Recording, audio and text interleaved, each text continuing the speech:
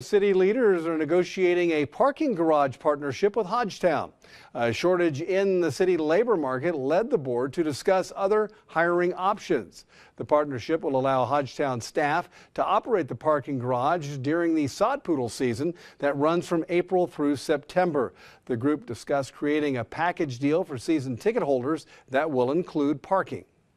What we're looking at this year and still negotiating with the Sod Poodles is uh, an opportunity for them to potentially operate the garage. They have more flexibility, uh, a larger labor pool to, to pull from, and they already control the surface lots around the parking garage.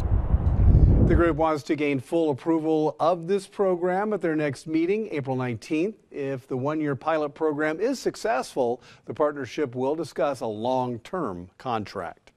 The city of